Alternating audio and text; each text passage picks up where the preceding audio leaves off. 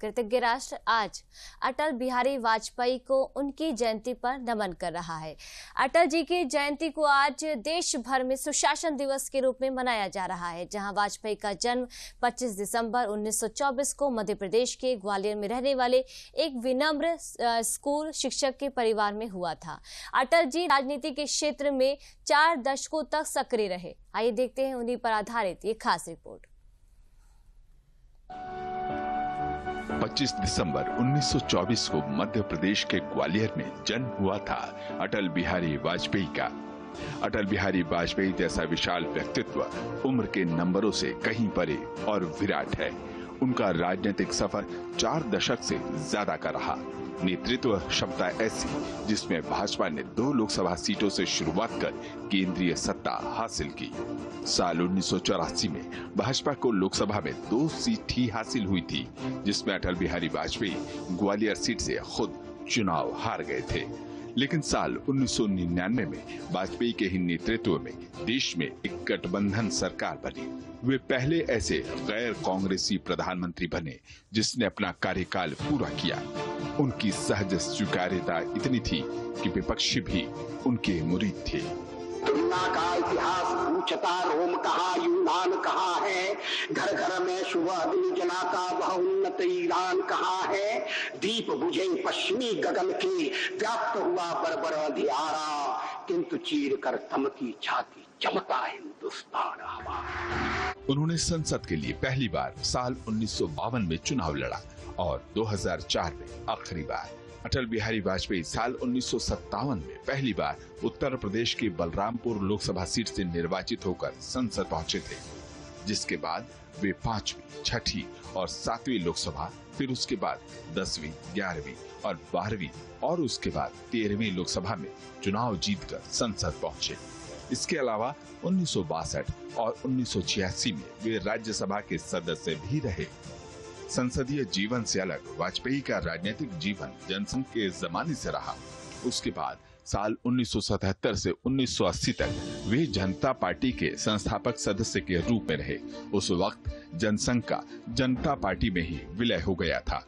मुरारजी देसाई की सरकार में उन्होंने 24 मार्च 1977 से 28 जुलाई उन्नीस तक विदेश मंत्री का पदभार भी संभाला। जिसके बाद जनता पार्टी में टूट हुई और 6 अप्रैल 1980 में भाजपा का गठन हुआ। वाजपेयी जी साल उन्नीस सौ छियासी तक पार्टी के अध्यक्ष रहे। नब्बे के दशक में राजनीति पूरी तरह से अटल बिहारी वाजपेयी के इर्द गिर्द घूमती रही। भारत के पश्चिमी घाट को मंडित करने वाले महासागर के किनारे खड़े होकर मैं भविष्यवाणी करने का साहस करता हूँ। अंधेरा छटेगा। सूरज निकलेगा कमल खिलेगा। पहले लोकसभा में नेता प्रतिपक्ष उसके बाद साल उन्नीस सौ छियानवे में पहली बार प्रधानमंत्री के रूप में शपथ ली। हालाँकि उनकी सरकार विश्वास मत हासिल नहीं कर सकी और तेरह दिन में ही गिर गई। अभी थोड़ी देर पहले मैंने उल्लेख किया कि मैं 40 साल से सदन का सदस्य हूँ। सदस्यों ने मेरा व्यवहार देखा है मेरा आचरण देखा है। जनता दल के मित्रों के साथ मैं सत्ता में भी रहा हूँ।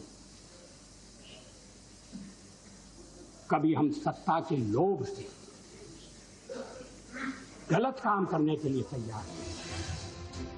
उसके बाद साल उन्नीस में उन्होंने एक बार फिर सरकार का गठन किया, लेकिन आपसी खींचातान और गठबंधन की राजनीति की उठापटक में ये सरकार तेरह महीने का कार्यकाल ही पूरा कर सकी और 17 अप्रैल उन्नीस सौ निन्यानबे को सिर्फ़ एक वोट से वाजपेयी की सरकार विश्वास मत हासिल करने से चूक गई।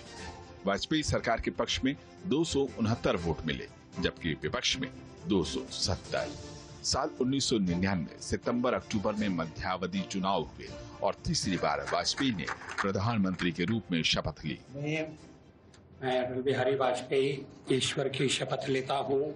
उन्होंने इस बार साल 2004 तक का न सिर्फ़ कार्यकाल पूरा किया बल्कि इस दौरान उन्होंने दिखा दिया कि जोड़ तोड़ की राजनीति के बीच लोकतंत्र की मर्यादाएँ और नैतिकता को बनाए रखा जा सकता है।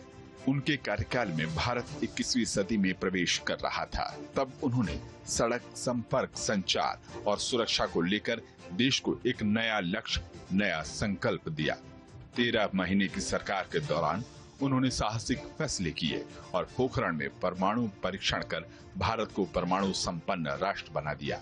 इसके अलावा इंफ्रा विकास के लिए स्वर्णिम चतुर्भुज, प्रधानमंत्री ग्राम सड़क योजना और संचार में नई टेलीकॉम नीति की शुरुआत प्रधानमंत्री अटल बिहारी वाजपेयी के नेतृत्व में ही हुई, जिसका लाभ देश को आज बखूबी मिल रहा है। साल 2009 में वे एक गंभीर बीमारी का शिकार हुए, लेकिन तब तक वे एक ऐसे वटवृक्ष बन चुके थे, जहाँ कई धाराएँ आकर एक होती थी। राजनीतिक सामाजिक जीवन में कमाए गए उच्च सम्मान की बदौलत ही साल 2015 में उन्हें भारत रत्न से अलंकृत किया गया।